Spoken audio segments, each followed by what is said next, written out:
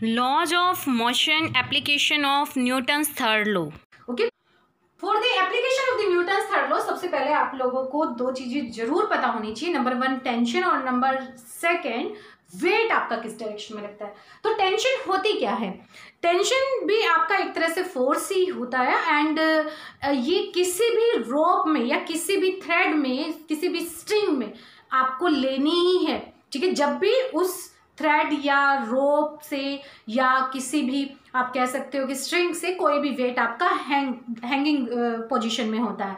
uh, हम लोग इसको डायग्राम से समझते हैं। सपोज़ करो ये आपका एक स्ट्रिंग है या रोप है और ये यहाँ इस पॉइंट से आपकी क्या हो गई? हैंग कर दी हमने। और यहाँ पर हमने मास एम हैंग कर दिया। ठीक है? अब जो ये मास एम है ये इस थ्रेड को नीचे की तरफ़ खींचेगा लेकिन ये नीचे की तरफ़ जाता नहीं है, देखो। ये फिर भी इसी रोप से इसके साथ ये अटैच होता है, जबकि इसका जो वेट है, वो डाउनवर्ड डायरेक्शन में है तो ये आपका नीचे गिर जाना चाहिए था। But it doesn't fall it never be fall ठीक है? क्यों? क्योंकि कोई ना कोई फोर्स इसमें ऊपर की तरफ़ भी लग रहा है। तो वो फोर्स है कौन सा? उसको बोला जाता है टेंशन और टेंशन जो है, वो हमेशा अवे फ्रॉम दी बॉडी होगी अवे फ्रॉम दी बॉडी ठीक है? अब बॉडी जो है आपकी, वो डाउनवर्ड डायरेक्शन में है तो टेंशन हमेशा क्या होगी? इसके ऊपर आप रिप्रेजेंट करोगे इन दिस स्ट्रिंग में. सपोज़ करो, ये है आपके पास, और यहाँ पर ये आपने मास एम बॉडी आपने इसके साथ टाई कर दिया, और ये आपके पास रोप है तो अब यहाँ पर जो आपकी टेंशन होगी टी ये आपकी इस तरफ़ एक्चर्ट होगी. क्लियर सपोज़ करो now we take like this ठीक है? This is a mass M तो यहाँ पर अब इस रोप में आपके पास टेंशन कैसे रिप्रेजेंट होगी? By this away from the body या away from the mass of the body ठीक है? तो ये तो हो गया आपका टी टेंशन तो हमेशा जब भी आप किसी स्ट्रिंग की बात करेंगे तो उसमें आपको टेंशन टी को ज़रूर इंक्लूड करके चलना है। हाँ अगर इग्नोर करने के लिए क्वेश्चन में बोला गया है नेग्लेक्ट करने के लिए तो आप इसकी वैल्यू नहीं लेंगे। सबसे इंपॉर्टेंट चीज़, ये आपकी वहीं पर ही कैलकुलेट होती है अप्लाई होती है, जब आप इस रोप को मासलेस लेते हो। ठीक है, ये ज़रूर ध्यान रखना। आप यहाँ पर मासलेस रोप की बात करते हैं। ठीक है मासलेस रोप की। कि रोप का कोई भी मास नहीं है, हम सिर्फ़ बॉडी का मास लेके यहाँ पर चलते हैं। Okay then there will be take place a tension T away from the mass of the body अब आ जाइए वेट की बात। वेट हमेशा, आप लोग कहते हैं कि डाउनवर्ड डायरेक्शन में लग रहा है बट वेट हमेशा आपके toward this centre of gravity लग रहा होता है। सपोज़ करो हमारे पास ये अर्थ है अर्थ पर ये आपका मास एनी मास है, ठीक है? तो ये सेंटर है तो इसका जो आपका, यहाँ ले लेते हैं, थोड़ा सेंटर में ना लेके, ताकि आपको अच्छे से समझ में आए। सपोज़ करो ये आपके पास small M mass of the body on the earth surface तो इसका जो वेट होगा, वो टुवर्ड इट्स सेंटर होगा toward its centre W okay यहाँ पर है तो ये होगा। अगर यहाँ है तो ये होगा toward the centre of gravity okay suppose करो, हम लोग एक इंक्लाइन प्लेन लेके चल रहे हैं, और यहाँ पर हमारे पास मास ऑफ़ द बॉडी है एम तो इसका जो आप वेट लेंगे तो वो किस डायरेक्शन में लेंगे? टुवर्ड द सेंटर ये, इस तरह से. ओके नाउ जो वेट होता है वेट को आप लोग किससे रिप्रेजेंट करके चलते हैं? Weight equal to M G और हमेशा याद रखना, जो वेट होती, होता है, वो वेक्टर क्वांटिटी होता है. क्योंकि G क्या होता है आपका? वेक्टर क्वांटिटी G क्या होता है? वेक्टर क्वांटिटी आप अगर वेट लिखते हैं, W इक्वल टू एम तो इसका मतलब हम किसकी बात कर रहे हैं? इसके मैग्नीट्यूड की बात कर रहे हैं. Okay so now we take horse cart problem number one application of the Newton third law as you can see in the diagram horse apply a force in the backward direction on the earth surface उसके बदले में अर्थ क्या कर दी करती है? एक reaction force देती है in the opposite to the force applied by the horse okay then this reaction will be resolve into the two parts देखिए, ये आपका force F by the horse ठीक है? इसके अपोजिट डायरेक्शन में रिएक्शन लगा by the earth then are resolve into the two component in vertical component and the horizontal component suppose it makes an angle theta with respect to horizontal okay then r resolve into the two component vertical component and the horizontal component अब जो ये vertical component है that balance the weight of the horse okay और weight of horse क्या हो गया आपका capital M into G और जो horizontal component है इसकी वजह से आपका जो मोशन है हॉर्स का वो क्या रहेगा? इन दी फॉरवर्ड डायरेक्शन में रहेगा। लेकिन ये जो आपका हॉर्स है that type with the string आप देख सकते हैं एज इन द डायग्राम ये आपका स्ट्रिंग से टाई है। तो स्ट्रिंग आप में आपकी क्या होगी? टेंशन भी होगी, और टेंशन क्या होगी? और से अवे होगी अवे फ्रॉम दी हॉर्स ठीक है? सो नेट रिजल्टेंट जो फोर्स होगा in the forward direction that is given by H minus T क्योंकि टी क्या है? पीछे की तरफ़ है एच क्या है? फॉरवर्ड डायरेक्शन में और टी बैकवर्ड डायरेक्शन में।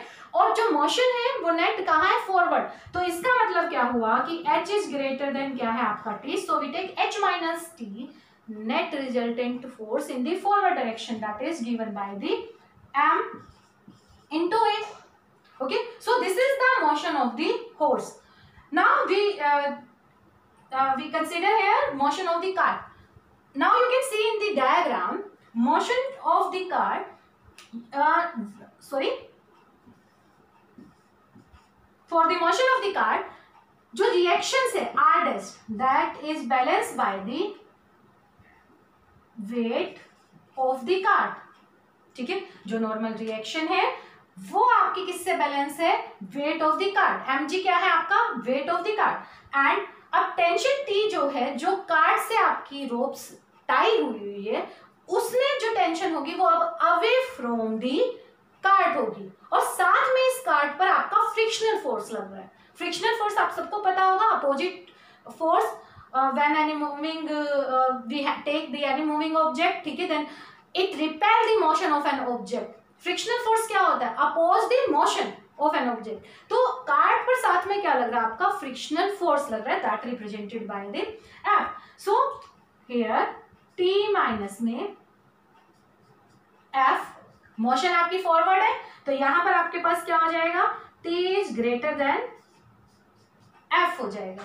T is greater than F so T minus में F equal to small M into में A small M into A अब इन दोनों की दोनों इक्वेशंस को आपको सॉल्व करना है। अब सोल्व करने के लिए आप क्या करो इन दोनों इक्वेशंस को? ऐड कर दो टी से टी क्या हो जाएगा आपका? कैंसल हो जाएगा देन एडिंग ये आपके पास इक्वेशन वन ये आपके पास equation two adding equation one and two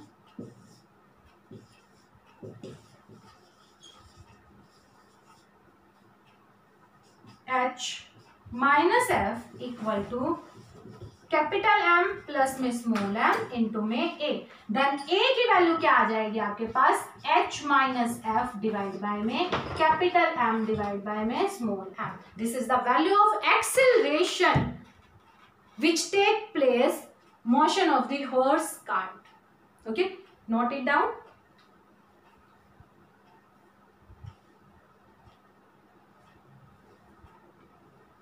okay. Now we take the another application जिसको हम फुली प्रॉब्लम भी बोलते हैं और इंपॉर्टेंट टॉपिक है आपका। Second is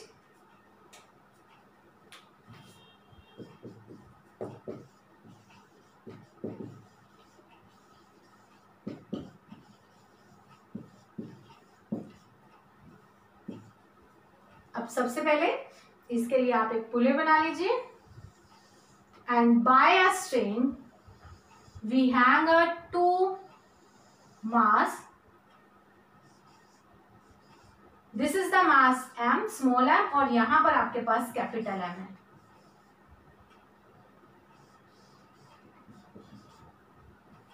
capital M okay और इस पुले में जो मोशन है, यहाँ पर अपवर्ड है और यहाँ पर डाउनवर्ड है। मतलब ये स्मॉल एम जो है ऊपर की तरफ़ जा रहा है और कैपिटल एम जो है वो आपका नीचे की तरफ़ आ रहा है। अब स्ट्रिंग है तो आपकी टेंशन भी होगी और सेम स्ट्रिंग स्ट्रिंग में एक ही जैसी टेंशन होगी, किसी भी पॉइंट पे आप लेके चलो। अगर दो स्ट्रिंग होंगी तो अलग अलग आपकी टेंशन होगी। अब यहाँ पर एक ही आपके पास स्ट्रिंग है तो यहाँ पर आपके पास टेंशन टी ठीक है? यहाँ पर भी आपके पास टेंशन टी ओके अब यहाँ पर जो टेंशन टी की जो डायरेक्शन है, देखो, इसके लिए ये, और इसको हम लोग मोशन को हम लोग इस तरह से रिप्रेजेंट कर लेते हैं। इसमें ए आपका डाउनवर्ड और यहाँ पर ए जो है आपका वो अपवर्ड ठीक है, ये मोशन रिप्रेजेंट कर रहा है। तो यहाँ पर जो टी होगी away from the small M वो अपवर्ड डायरेक्शन में, यहाँ पर भी आपके पास जो टेंशन टी होगी, वो इन दी अपवर्ड डायरेक्शन में। अब फॉर दी स्मॉल एम के लिए आप कीजिए, अब आपका जो स्मॉल एम मास है, वो अपवर्ड डायरेक्शन में जा रहा है। So we take T minus में M G equal to M A okay net resultant जो फोर्स है acting on the body small M on small M body net resultant जो फोर्स हुआ acting in the upward direction so we take T is greater than M G okay T minus M G equal to M A इसका weight जो है small M G और इसका weight जो है वो capital M G. Okay now on the capital M अब capital M में देखिए, जो बॉडी है वो आपके डाउनवर्ड डायरेक्शन में जा रही है। मींस आपका जो मोशन है वो डाउनवर्ड डायरेक्शन में है। तो अब ज़्यादा क्या है आपका? एम जी ज़्यादा है। M G greater than T तो इसके लिए आपका क्या आ जाएगा? M G minus T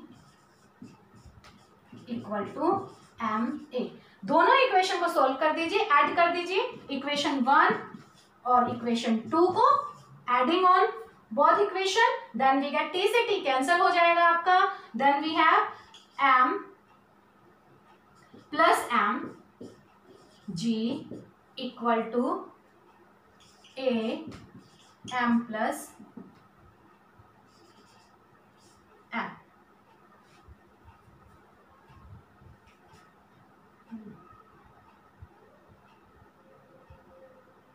यहाँ पर माइनस एम ठीक है?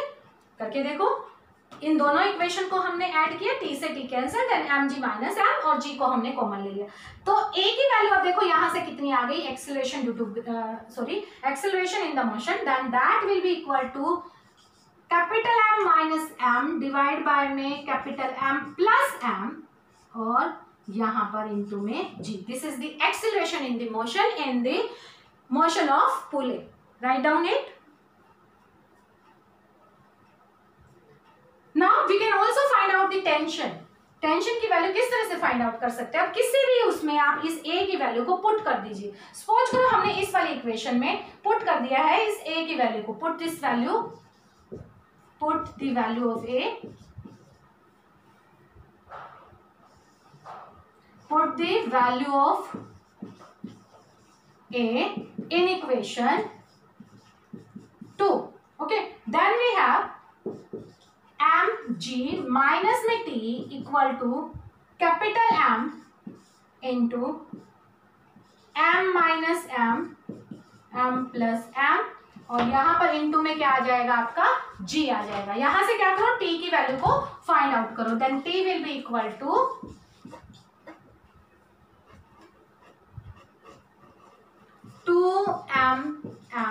divide by में M plus M into G write down it